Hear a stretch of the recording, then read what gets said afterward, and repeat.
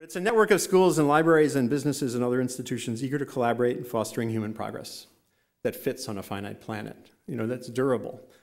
And we're doing lots of networking these days, I, and I keep circling back to Match.com as sort of the example.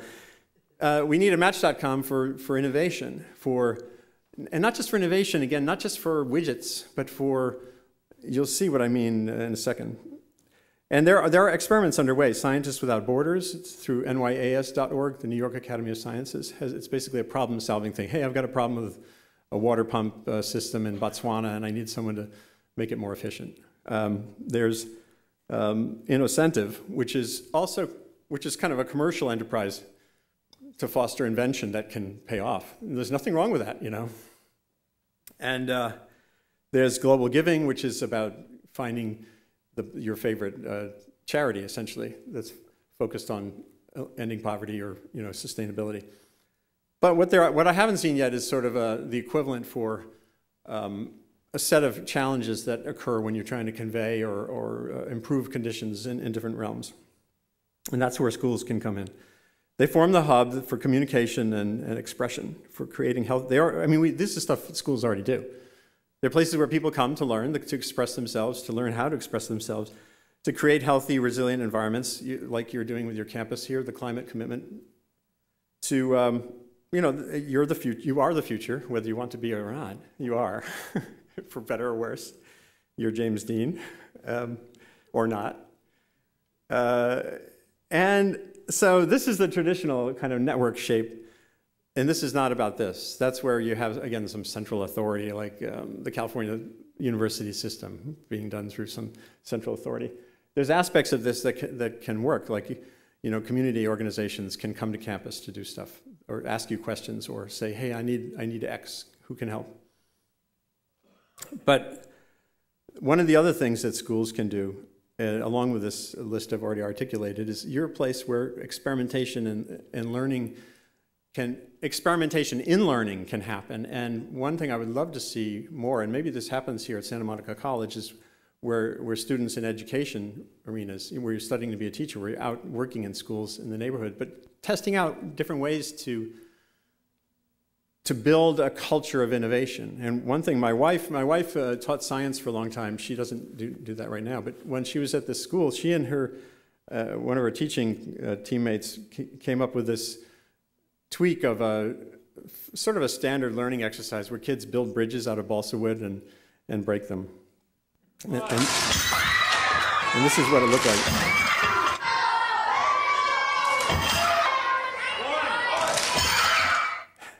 And did you see the enthusiasm? The kids love to break stuff, first of all. I was just with Nate Lewis, this Caltech uh, scientist, and at a meeting, uh, he, he spoke uh, via Skype at a meeting in Houston. I was uh, kind of working as, a, as the, the moderator at. And, I, and P, one of the questions from the kids was, how did you get to be, you know, what you want, what you are now, scientist working in energy? He said, oh, I used to love to blow stuff up. So, so you want to harness that innate curiosity and, and energy in kids working collaboratively. These, these are teams that would build these bridges and, and then break them intentionally. And then by piling a successive weight on them, and, and then you, you were graded uh, you know, based on the performance of your design. But, but uh, Lisa and, and, and Mike Topchick, they came up with an interesting spin on this, which is so valuable in, in this complex world. This, the students had a budget. It wasn't real money, but they had to buy their wood from a supply, you know, the Home Depot equivalent in the classroom. And so they were judged, their performance was judged on, on a mix of cost and benefit. So you could have, if you spent all your money and you built a really strong bridge, but it was like ridiculously expensive compared to others, then that, that didn't mean you won necessarily. So the, that's, what a, what a great exercise. These are kids who had to learn how to, how to do something with limits, how to, how to be, think about two realms at the same time and, and also think creatively. One of the things they had to do when the bridge breaks is they had to write a little paper on why they think it broke and what they would do differently the next time. So learning by breaking. I, I wrote a piece on Dot Earth maybe a year ago called uh, breaking, uh, breaking Things on the Path to Learning. And, um, and I think there's a, so much merit in experimenting in that arena, especially because your average teacher in the public school classroom doesn't have any of the time to develop a, you know, a learning module on, that, on, on his or her own. So finding ways to get that out there, I think is great. Um, So the physical school, remember what I li like about this conception of things is you have people intentional working on specific campuses, building relationships with businesses and communities around them, and demonstrating things like, like I just saw here the, the garden, the organic garden. Harvey Mudd uh, College, uh, the Center for Environmental Studies there has a region, regional landscaping clinic, again, where they're demonstrating ways to use native plants and, and to have limited water use and that kind of thing. So the more that you can take your gardens and have them on the web, have, have some explainer for what the value is for the different plants, and have that out as a resource for the community, I think the, the better off we'll all be. Um, there, there's other things when you think about physical schools in developing countries, you have all the kids coming from very impoverished households to a hub every day. That's a great network for building out just simple things like the importance of washing hands, which is one of the bigger ways to, you don't need antibiotics, you don't need um, sophisticated means to, to limit um, waterborne disease. You just need to know how to wash your hands. And, and that, that kind of thing can be, again, a great way to facilitate uh, learning and, and having it have impact. The other thing that's really too common, a little less so in California, but more even in some states here like Oregon, is schools are not places to go to when something bad is happening. They're places to run away from. Um, Oregon has 1,000 schools that I've written this repeatedly are, are extremely vulnerable or doomed in the next great Northwest Cascadia earthquake. The only reason California has a lower vulnerability is because the, the, the Long Beach earthquake just down the coast, just around right around here in 1931 or so, uh, prompted the passage of laws that require pretty good standards for schools. But the good news about California is you've got enough low-grade seismic activity that you're always thinking about earthquakes compared to other states. The Northwest, they haven't had a big one in, since uh, the year 1700. So there's not a lot of memory there. So that's why people are a little more lax. So I want to just show you a little quick video that, um, an animation that shows you how, again, on a limited budget, with a, a design, a smart design, in this case, created by um, an engineer at Purdue, could go a long way toward making schools in, in struggling places in seismic zones safer. So this is, I, I went to a junior high that looked just like this. It was like, you know, basically a half wall with windows. It's not a good design for an earthquake zone. And as I wrote, there's hundreds, hundreds of millions of kids around the world in going to school in, in seismic zones. These are some buildings that pancake, that design pancakes. So you end up with this kind of impact. This was just the other day in Turkey, where a dormitory was among the buildings that collapsed. So there are weak spots there. This, my son created this uh, animation. Now, now take, just remember what you saw there, and then the same materials, all you have to do is reconfigure them. You don't need stronger materials, you don't need different materials. So if you just move the wall, put the structural walls that way, and here was a, this is a, a full-size three-story building tested at the shake table in uh, Purdue, you end up with a fundamentally safer school. And, and it doesn't have to look bad. So he came up with this design. I want that design to be everywhere where people, remember we're in, right now, we're in this moment on earth where we're poised in the next 20 or 30 years to build more structures than have ever been built in all of history combined, mostly in, in developing countries, almost, almost all in developing countries. So if you can get ahead of that pulse of construction and make sure that the engineers, there mostly aren't engineers involved in building many of these buildings.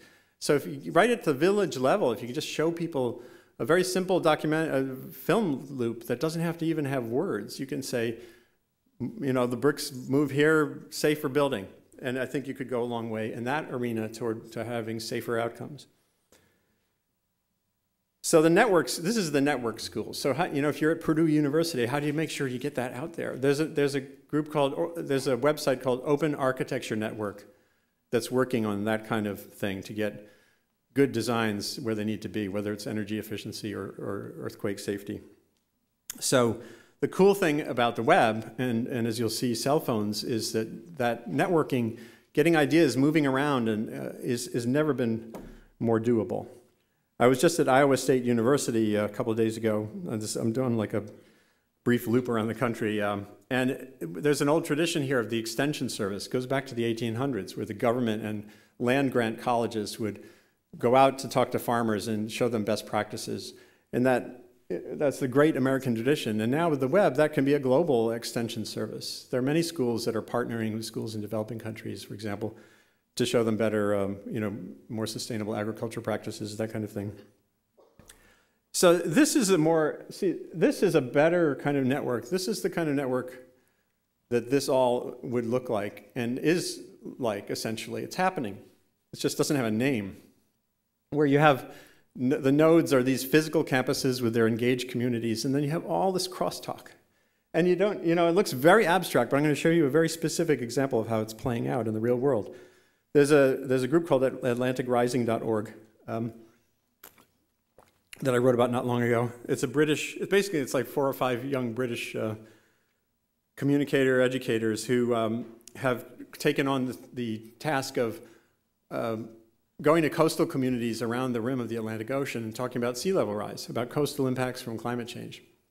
And they're pretty, they're not judgmental, they're not alarmist, they're not, and they're not, certainly not deniers. They're, they're just engaging these uh, students in these communities with the reality of what it would be like to have a three foot sea level rise in, in your coastline. And so they, um, you can see these are some of the places they've been. And these, there are schools that have been partnered up by Skype. So the students in Scotland and Ghana are talking to each other about the, their their coastal issues related to climate change, and they're learning about their different cultures and their different orientations toward the coast. And I think it's a wonderful example. This is, I, I stumbled on these people out in, in Massachusetts at a, they were giving a presentation with students there and just showing them at one of the lighthouses there. That's a three foot, you know, that's basically what three feet above the mean high tide would be. And that's something that I think can stick with kids. And, just, not, you know, it's not saying, woe is me, go you know, whatever. It's just making them engage on the question. Now, you, you could easily say, well, you know, it's fine to talk about networking, blah, blah, but there's still two, two billion people on the planet who don't have uh, uh, an electric light bulb. And these kids in, Ga in Guinea have to walk from their slum dwellings each night to the airport parking lot to do their homework because there's no electricity at home.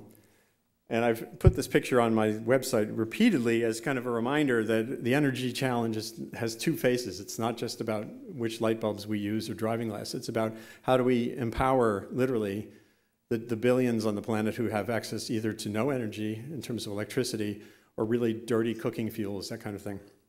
And the answer to that could very well be a fossil fuel for them. They, the last thing they need is to be thinking, oh, you know, um, zero carbon. That's our job because we have the technology and the wealth. So you can think, well, you know, how are they going to get on this uh, your knowosphere? And uh, but that's happening. It's happening amazingly fast. Um, uh, Libby Rosenthal, a colleague, a colleague of mine at the Times, last year, almost about a year ago, went to rural Kenya, and she met a woman who um, uh, had a cell phone, like so many people in even poor countries, poor regions have. But she was tired of having to go into town every week to charge it up at a very high rate per kilowatt hour, per watt minute. And uh, so she saved up enough money to buy a cheapo kind of solar, little solar array to put on the roof of her, her hut. And she started charging her phone. She started, she had excess electricity, so she was set up a little business charging her neighbors' phones. And uh, her kids could do homework at home instead of having to, well, in, the, in their case, they had no options. There's no street light to go to. And their, their performance was better in school. And the uh, and then by the way, the, this is the cool thing. Her neighbors got sort of tuned into this, and they started buying their own solar panels.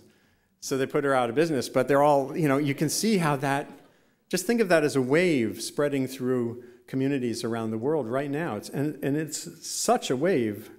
This is what that wave looks like. Ten years ago, on this planet, 11 year, almost 12 years ago, there were only 700 million cell phones, and about two thirds were in rich countries. Now there are 5 billion cell phones, and three quarters of them are in poorer countries. Now, obviously, most of those are in China and India. We know, obviously, there's fewer in Africa, but they're, but they're spreading like wildfire there because the people, there's great value. I don't know if you've heard that you can use a cell phone essentially as a bank. You, you can use it if you're a farmer. There are still many rural places in Africa where the farmer now calls in for a crop price so he knows which uh, merch, you know, which town to go to to sell his, his grain or whatever. It's, it's changing the world. And it's a short trip from where we are right now to those kids having access by phone to a, a course here at Santa Monica College. or some equivalent. And you know, they're not smartphones now, but they will be. And there still is a big digital divide, but you'll see in a few minutes where the internet is getting out there really fast. I'm sure many of you have seen this in many places. So uh, I had my little sort of wake up call on that when I went to Istanbul in 2009 to write a, a, big story for the Times on the next inevitable earthquake there. And anyone who doubts that Istanbul is going to get hammered by a really devastating quake that will make the, what you saw the other day in eastern, in eastern Turkey look mild, you just look at the history of art. There's, a, there's an art collector in the Czech Republic who has this whole, like, a millennium's worth of art on earthquakes. And this is from 1509. This is a, a woodcut of what Istanbul looked like after an earthquake in 1509. There's, there's all kinds of art from then on charting the various big shocks that have occurred there. There just hasn't been one recently. And so what happened in Istanbul, you have a city that was about 1 million people 50 years ago. Now it's 15 million people in that metropolitan region. And there hasn't been an earthquake in that time, and it's coming.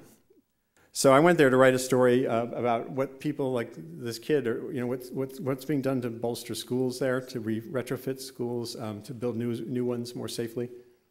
But while I was doing that, I kind of I went around to a lot of neighborhoods. This was me at one of the, one of the retrofitted schools.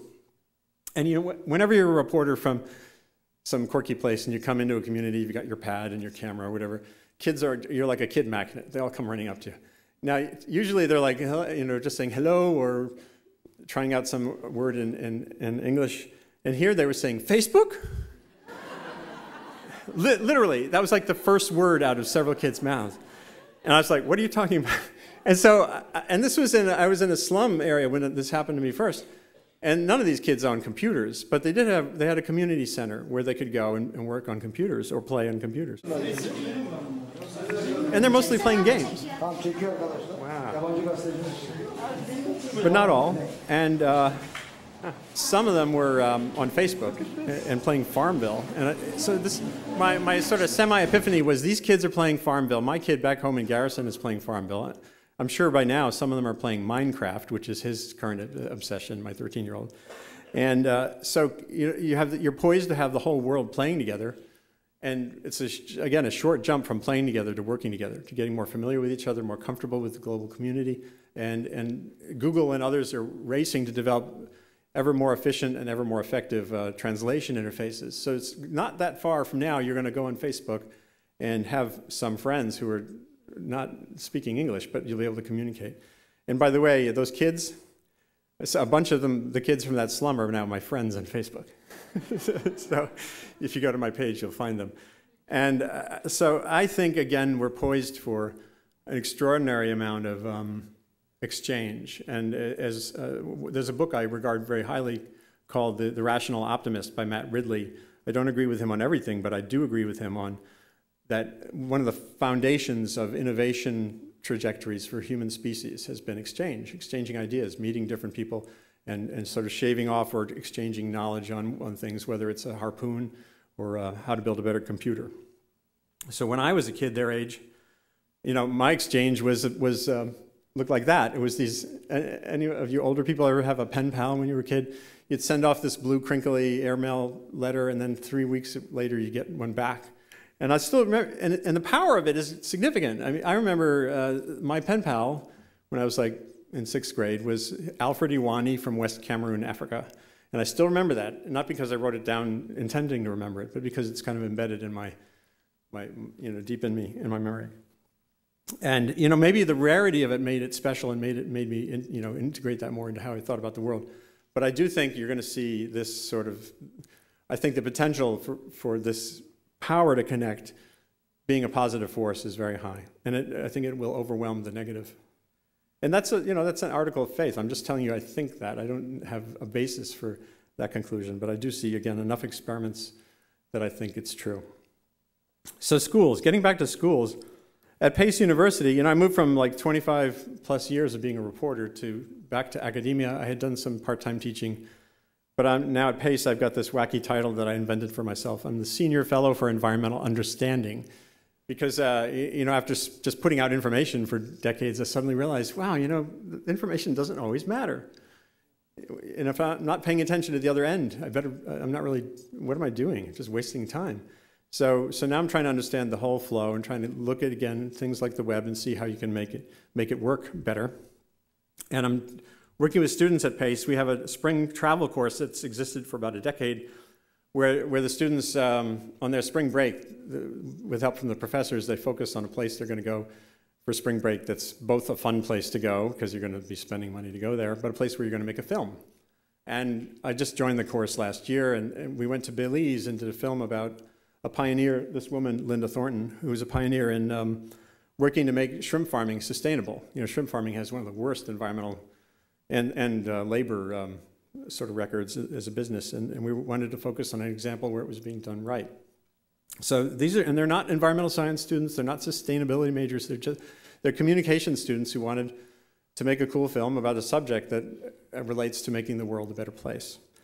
And we shot uh, all kinds of cool video, and they made a very effective film. So the film, the film was essentially a collaboration. We ended up with, with interviews done by three different universities. And so think about that. Think about an issue like fracking or an issue water, uh, nuclear power in communities, uh, the impacts of wind farms. Think if you were able to collaborate with schools in different parts of the, of the country, or eventually different parts of the world, to tell a story that's reported as a community. That's another thing I think is a, a new and powerful possibility. So, and then, uh, you know, we're trying to reach out in other ways. I've, built, I've just created a course that's just uh, inaugurated this fall called Blogging a Better Planet. And it's not because I know that that's even possible. Dot Earth is still an experiment. So I don't have a lot to teach these students. I have a lot to explore with these students about how to use Twitter in new ways and to, to aggregate and, and examine other people's experiments and, and these amazing ways to send ideas around. Our course has the hashtag PaceBlog, so if you want to look for some of the conversation, please do so. But there's a professor at uh, University of Connecticut. She's a biologist who teaches a bird behavior course. And every year, she, I got in touch with her. I met her at, at UConn. And she told me that she requires all her students to get a Twitter address, and then one of their assignments through the semester is to tweet when they see bird behavior, which I think is kind of, you know, funny on, its, on the surface. But what she found was that these students were engaging, they were engaging and enthusiastic about observing bird behavior much more because it was, there was a, there was this part of it. so they were taking physical analog experience and channeling it into the digital world. And there's ways to do that increasingly, engaging both through those, the, the two sets of neurons or whatever that we're using. And I'm really a big fan of you know, multimodal communication and thought. So uh, WJNet, uh, WJChat is a weekly uh, web journalism chat, which is another place you can, if you search for that hashtag, you'll find some interesting experiments. So here's a classroom, a crowded classroom with an overloaded teacher. And here's another opportunity for students, particularly in communication and science, to get engaged. I was at a meeting of the, the AAAS, the American Association for the Advancement of Science, early this year. And there was a session on what teachers need, what science teachers need or lack. And one thing they all were craving, it sounded like, was uh, not some big thorough documentary on, on climate or whatever, but a one minute just an explainer, what's called an explainer, a little introductory video that they can launch into a lecture on a big subject with, just to get the students engaged. And, uh, and there's a, plenty of experiments along these lines underway on campuses. I'm trying to, I can't find out who made this one. Today on Waves of the Future. It's called, a it's on geoengineering. geoengineering. What is geoengineering? Well, geoengineering is something global, intentional, and unnatural. And we've got some smart fellers figuring out new methods. Let's look at a few. Space mirrors! In this lifelike reenactment, Eric is the sun, and Patrick is the Earth. As Patrick orbits Eric, he receives some of Eric's solar radiation, making Patrick very warm. Let's see what Patrick has up his sleeve. By deploying space mirrors, Patrick deflects some of Eric's warming radiation, making himself comfortably cool. Iron near the Galapagos. This is a scale model of the ocean. what you got there, Patrick? Looks to me like a handful of rusty nuts and bolts. Let's see what happens when you fertilize the ocean with that iron. Algae blooms. They spelled algae wrong. But see that what you could do is you could if we had a place where teachers seeking explainers could post a little request. Hey, you know, I'm looking for a way to animate um, a little thing on momentum, and students at schools of communication or graphic arts can pop something up there. Maybe faculty or other scientists can critique it. Remember, the web is all about critique, and then it gets redone and posted, and then teachers around the world have this learning tool that didn't exist, you know, a day or two earlier. So that's the kind of network that I'm trying to find a way to build. And again, I don't think it's something that requires much building. It just requires exchange uh, and, and, and intent, intent, intentionality. So the other thing about the web, of course, and I talked about multimodal communication, but multimedia, getting at all the neurons in your brain. I've got very attuned to my neurons after losing some. Uh, but there's like, this is your brain on words. This is your brain seeing words, hearing words. So look, different part of the brain. Uh, thinking about words, and then of course speaking words is another. So if you're only sending out text, uh, words, then people are not. They're only part of the brain is working on that. So how, how do we work more effectively or creatively at getting at everything, using every part of communication to make a story come alive?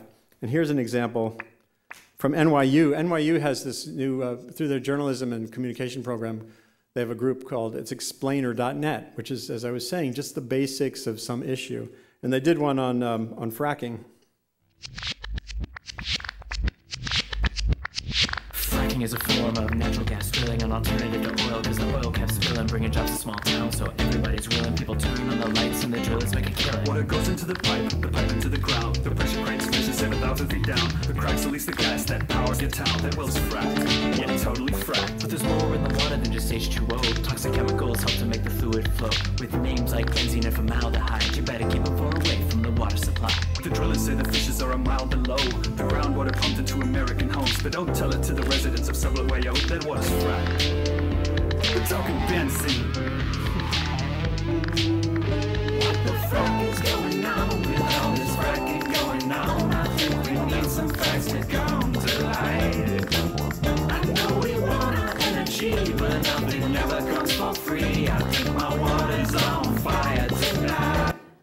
So, uh, students wrote that, they sang it. It's great.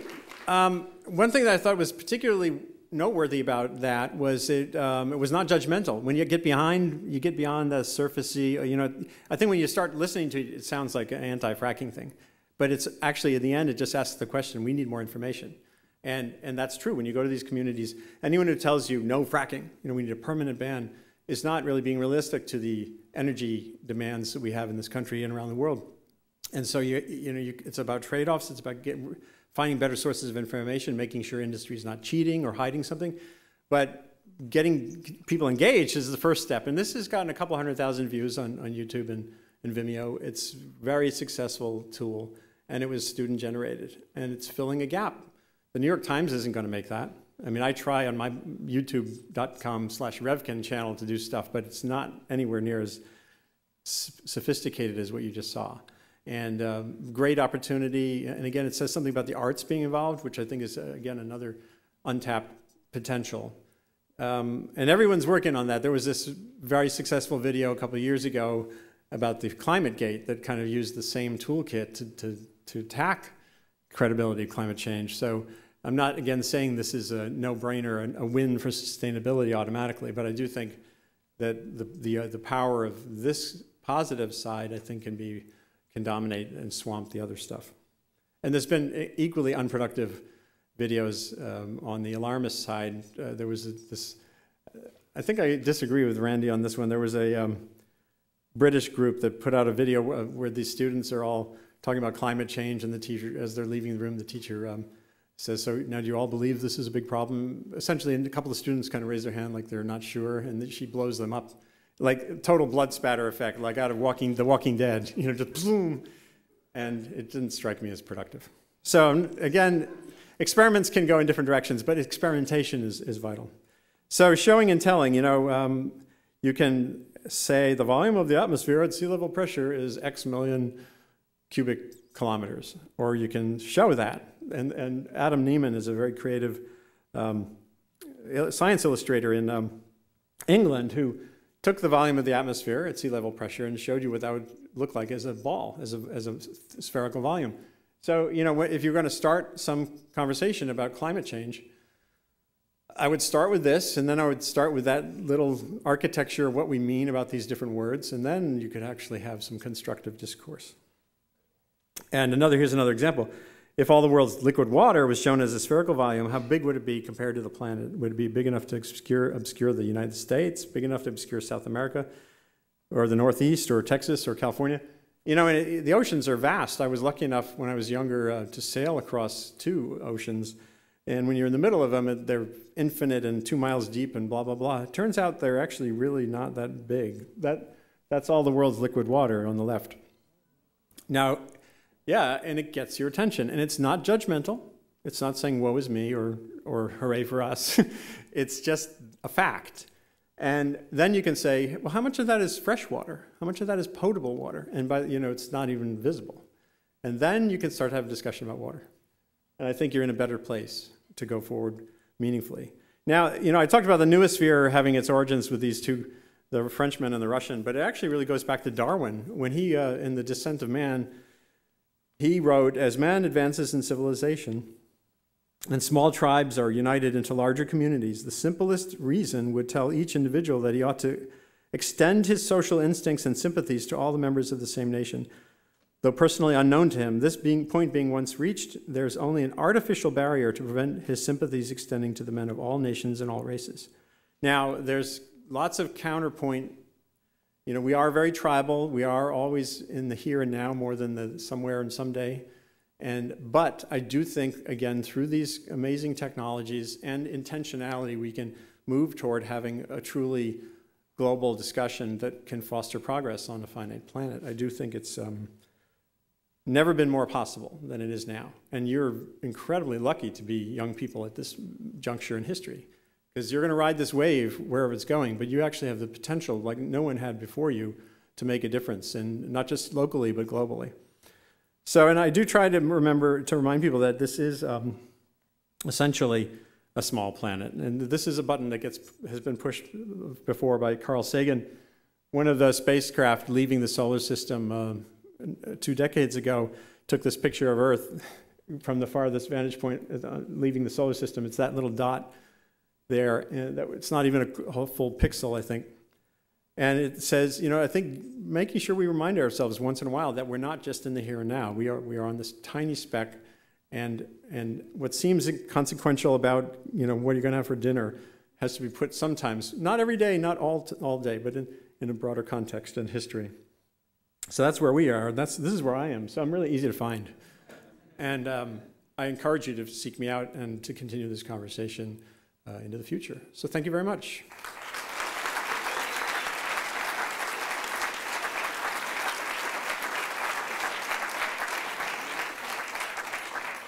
And I assume whoever can, there's probably time for some questions. So any, yeah, any questions? Yell out or something. Yeah.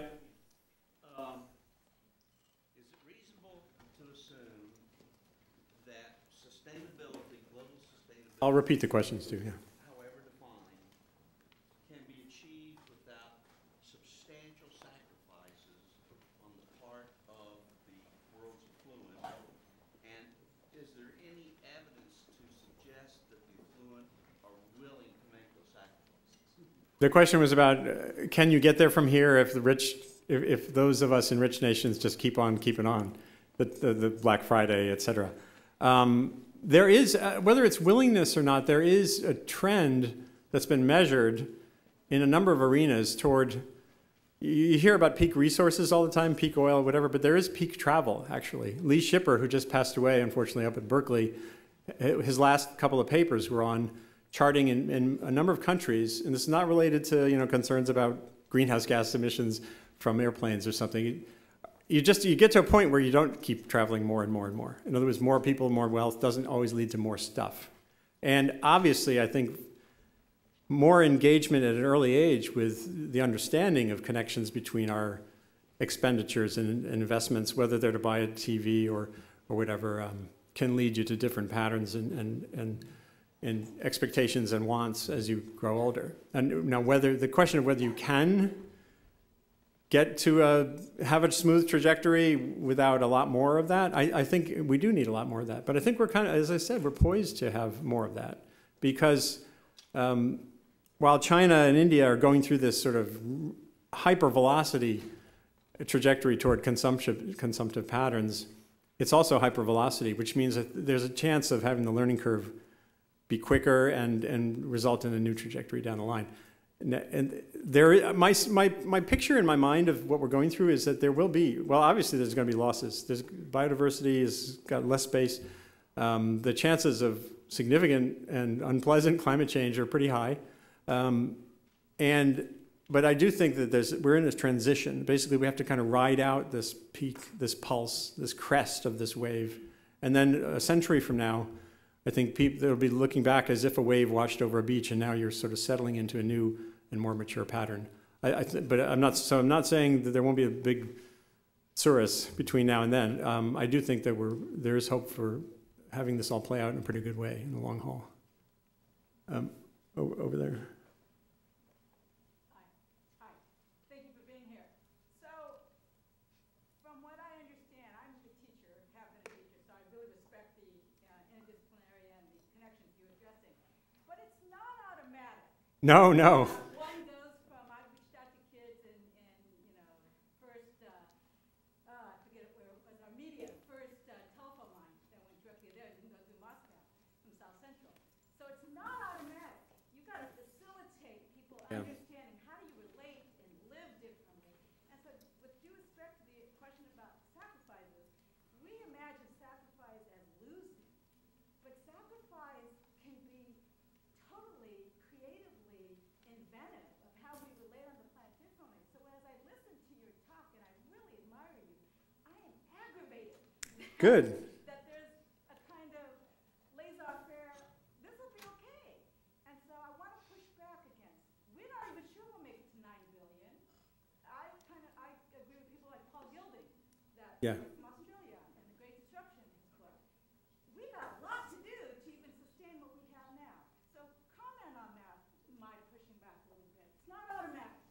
No, no, it's not automatic, but again, it won't be enforced. It can't be enforced. So it has to build from, I, I think the idea that we're going to, I'll just take climate as a, Well, uh, Just the enforcement into, if we're really self-governing, if we're Yeah. really exceptional, rational species, what turns on that self-government and self-discipline that's creative? It, well, it's a recognition that there's some things that that we can't, as individuals, we, pure utter libertarianism to the extent of every individual always having the right to do anything he or she wants, always butts up against lim, limits that people see as reasonable and important, and th- that's where society. That's where you move from psychology to sociology. You move from what we know about the weaknesses of the human individual to what we know about how we've learned as a species to do constructive, collaborative treaty, treaty making for all its for all of its limits. The UN, for all of its ridiculousness, are are institutions that we've created, and of course laws, you know, domestic laws, and work. And we, we can see that articulating the benefits is, is what we can work on better to, to, to make it all seem like an imperative. And I just, I'm trying to write a piece right now. I was on a panel a week ago, two weeks, well, several weeks ago with um, the, one of the heads at uh, Health and Human Services and, and the deputy administrator of the EPA. And we were talking about how do you make the, ben, the, the benefits of public health initiatives like um, secondhand smoke, like um, reducing invisible pollution from power plants, the small particles that aren't the stuff you see. How do you, how do you make sure that people understand the value of having that air cleaner, the value in terms of health outcomes? And I think there, I would like to see, as I wrote on the blog uh, not long ago, I'd like to see someone come up with a way to visualize what, what the, the saved money and saved lives from, or, or extended lives from um, small particle pollution. Uh, because as, as we, uh, um, the EPA guy said, you know, he, at hearings he's badgered by the other side saying, well, where are the bodies, essentially? But, and, and it's only in the statistics that you can really see the benefits of these kinds of programs. And, and- but so I think there's ways to visualize that, to, to, to convey it in a way that's quantitative, inarguable, um, but more effective at reaching through our systems, and that can start to build um, some progress. Um, you know, on the on the bigger point of enoughness, that's a values issue that comes so much from family and how you grow up that I think just getting kids out in, in nature, whether it's in a city, some little green patch in a city, or whether it's in, in a wilderness, things like that, working on making kids understand they can actually have a role in innovation and it's not just in man, policy innovation is, is innovation too. As, as I said, with healthcare outcomes, you could look at environmental issues the same way I was looking at stroke, the stroke issue. Um, there are no brainers out there. So find your way to push forward on that. And I think we could get things moving in the right direction. And, and not, you know, it won't be in time to make the world a perfect place. But the world is, uh, we're, we're tra we've transformed the world in so many ways that we now see as unremarkable that at, at some time or other were considered stunning, horrible things or whatever. Um, or transitions from something that was stunningly horrible that we thought would always be around, like all the manure in New York City, to cars in that time getting rid of the manure problem, and now cars have created their problem. And, and so then you deal with that problem. Maybe one more? Is there one more crying out to be asked? Yeah. So to me, I see the problem is that no matter how sustainable we make our country, that there are many places in the world that people won't cooperate. Like there are oil companies who will not, because of the amount of profits they make and how much power they have in the world, they're not going to want to change. They're going to put any effort into not this change. So my question is, is like, how are we going to be able to get those rogue countries, for lack of a better term, to cooperate more? Well, the, Make it as peaceful, because I think this transition is Yeah. Well, it's happening, but again, it's happening. Uh, Transparency International is a really interesting place to go to explore how, uh, again, worldwide, there's efforts underway to, to, to make transparent the, the opaque, whether it's about subsidies, whether it's about impacts from industry, um, to, to, to just sort of infuse. It's, it's going to be a lot harder to be a bad actor and not have that be revealed through everything you can see around you on the internet and through, again, cell phone con- connectivity, people can report on bad practices. Uh, the information can get out in ways that, that was never possible before. And, and in developing countries too, uh, not so much with climate, because, but with other issues in China. You know, China's big pollution initiatives are largely because communities have been really pissed off. And China, after that earthquake that I wrote about in 2008, that killed several tens of thousands of school children and teachers, uh, China got very active about, you know, this can't happen anymore. And so, so I think it's happening. I, I'm not so concerned that, with that. And corporations, the global corporations, are there are initiatives underway to think about best practices and to make sure if you have a best practice at your DuPont plant in Delaware that it's the same one you have in Delhi. If you look at that pattern over time, recent decades, it's actually most places where the DuPonts of the world go, they raise the standard by being there. Uh, The, the local factory, the maquiladora, whatever, are doing worse. So, so I, I, I see good trajectories here too. And I guess that's about it. Again, Revkin at Gmail. And I'm here, you know. Thank you again.